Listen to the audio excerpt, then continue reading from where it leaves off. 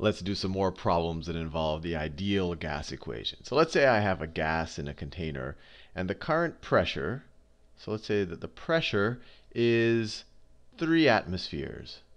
3 atmospheres. And let's say that the volume of the container, the volume is, I don't know, 9 liters. 9 liters. 9 liters. Now, what will the pressure become if my volume goes from 9 liters to 3 liters? To 3 liters. So from the first ideal gas equation video, you can kind of have the intuition that you have a bunch of you have a and, and, and we're holding, and this is important, we're holding the temperature constant. And that's an important thing to realize. So in our in our very original in our very original uh, intuition behind the ideal gas equation, we said, look, you know, if we have a certain number of particles with a certain number of amount of kinetic energy, and we were to, you know, they, they're exerting a certain pressure on their container, and if we were to make the container smaller, make the container smaller, we have the same number of particles, n doesn't change, the, the average kinetic energy doesn't change, so they're just going to bump into the walls more. So that when we make the volume smaller, when the volume goes up, the pressure should go. When the volume goes down, the pressure should go up. So let's see if we can calculate the exact number. So we can take our ideal gas equation.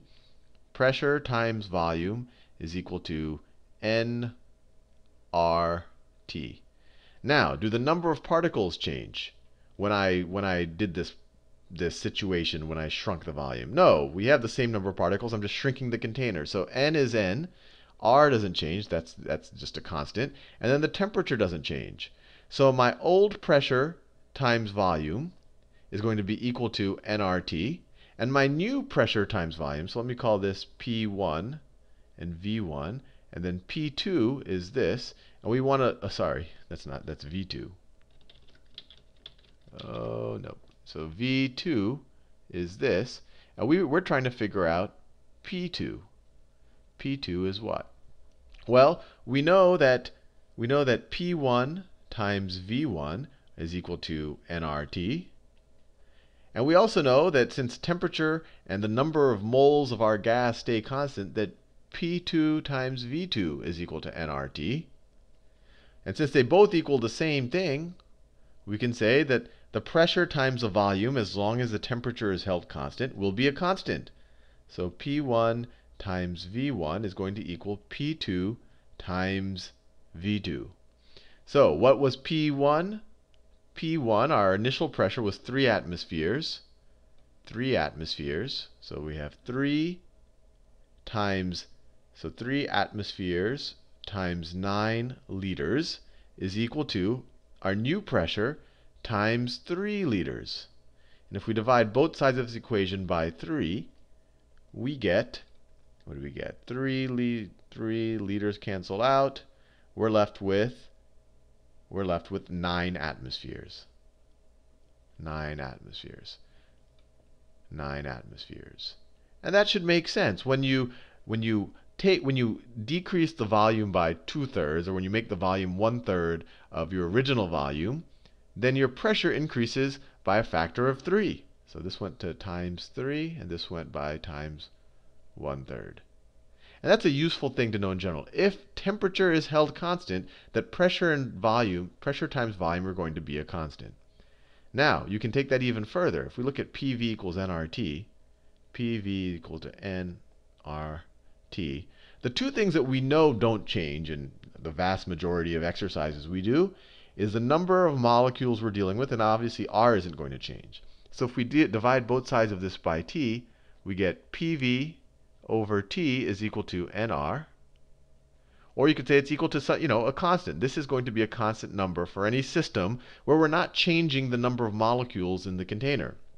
So we, if we're changing the pressure, so if initially we start with you know, pressure 1, uh, volume 1, and some temperature 1, that's going to be equal to this constant. And if we change any of them, if we go back to pressure 2, volume 2, temperature 2, they should still be equal to this constant. So they equal each other. So for example, let's say I start off with a pressure of, let's let me do it with one atmosphere.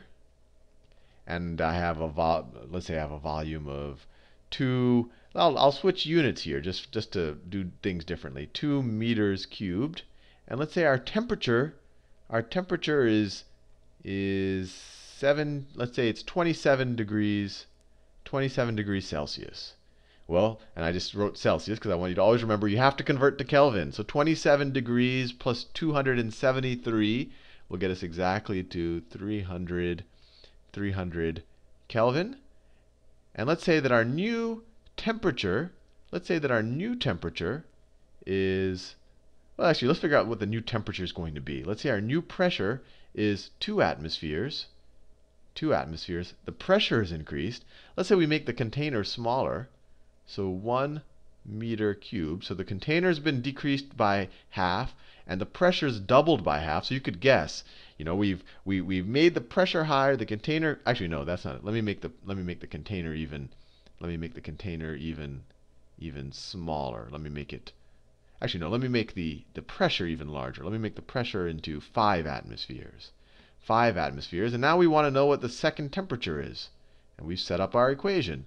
And so we have 2 over 300 2 over 300 atmosphere meter cubes per Kelvin is equal to 5 over T2, our new temperature. And then we have, what do we have? We have 1500, right? 1500 is equal to 2T2. Divide both sides by 2. You have T2 is equal to 750 degrees Kelvin which makes sense, right? We increased the pressure so much and we decreased the volume at the same time that the temperature just had to go up. Or if you thought of it the other way, maybe we increased the temperature and that's what drove the pressure to be so much higher given especially that that since we we decreased the volume. I guess the best way to think about it is this pressure went up so much, it went up by a factor of 5, went from 1 atmosphere to 5 atmospheres because on one level we shrunk the volume by a factor of 1 half. So that should have doubled the pressure. So that should have gotten us to 2 atmospheres. And then we made the temperature a lot higher. So we were also bouncing into the container. We made the temperature 750 degrees Kelvin. So more than double the temperature. And then that's what got us to 5 atmospheres. Now one other thing that you, you'll probably hear about and is, is the notion of what happens at standard temperature and pressure. Let me delete all of this stuff over here. Standard temperature and pressure. Let me delete all the stuff that I don't need. Standard temperature and pressure. And I'm bringing it up because even though it's called standard temperature and pressure and sometimes called STP, standard temperature and pressure, unfortunately for the world that they haven't really standardized what the standard pressure and temperature are. St standard temperature and pressure temperature and pressure. I went to Wikipedia and I looked it up. And the one that you'll probably see in most physics classes and most uh, standardized tests is standard temperature is 0 degrees Celsius, which is, of course, 273 degrees Kelvin. And standard pressure is 1 atmosphere. And here on Wikipedia, they wrote it as 101,000 or 101.325 kilopascals, or a little more than 101,000 pascals. And of course, a Pascal is a Newton per square meter. All this stuff, the, the units are really the, the hardest part to get a hold of. But let's say that we assume that this is these are all different standard temperatures and pressures based on different uh, standard making bodies, so they can't really agree with each other. But let's say we took this as a definition of standard temperature and pressure. So we're assuming a temperature. Temperature is equal to 0 degrees Celsius, which is equal to 273 degrees Kelvin. And pressure, we're assuming, is 1 atmosphere, which could also be written as 101.325 or 3 eighths kilopascals. So my question is, if I have a gas, if I have an ideal gas at standard temperature and pressure, how many, how many moles of that do I have in one liter? How many? No, let me say that the other way. How many liters will one mole take up? So let me say that a little bit more. So, and then I also have, so N is equal to 1 mole. So I want to figure out what my volume is. So if I have 1 mole of a gas, I have 6.02 times 10 to the 23 molecules of that gas. It's at standard pressure, 1 atmosphere, and its standard temperature 273 degrees, what is the volume of that gas? So let's apply PV is equal to nRT, nRT. Pressure is 1 atmosphere, but remember we're dealing with atmospheres, 1 atmosphere, times volume, that's what we're solving for, I'll do that in purple, is equal to 1 mole, we have 1 mole of the gas, times R times temperature times 273. Now, this is in Kelvin, this is in moles, and we want our we want our volume, let's say we want our volume in liters. Uh, what is that? The VPN. Okay. We want our volume in liters. So which which version of R should we use? Well, we're dealing with atmospheres. Atmospheres, we want our volume in liters. And of course, we have moles in Kelvin. So we'll use this version, 0.082. So this is 1, so we can ignore the 1 there, the 1 there. So the volume is equal to 0.082 times 273 degrees Kelvin. And that is 0.082 times 273 is equal to 22.4. It's equal to 22.4 liters.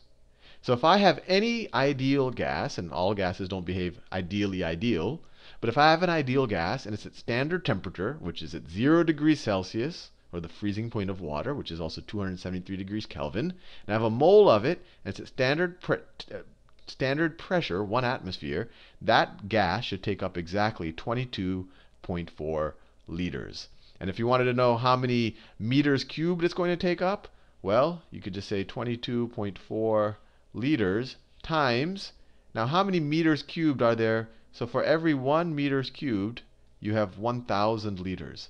I know that seems like a lot, but it's true. And any, just think about how big a meter cubed is. So this would be equal to, this would be equal to 0.0224 meters cubed if you have something at 1 atmosphere, a mole of it, and at 0 degrees Celsius. Anyway, See, this is actually a useful number to know sometimes. They'll often say, okay, you know, you have, you have, you know, you have two moles at standard uh, temperature and pressure. How many liters is it going to take up? Well, one mole will take up this many.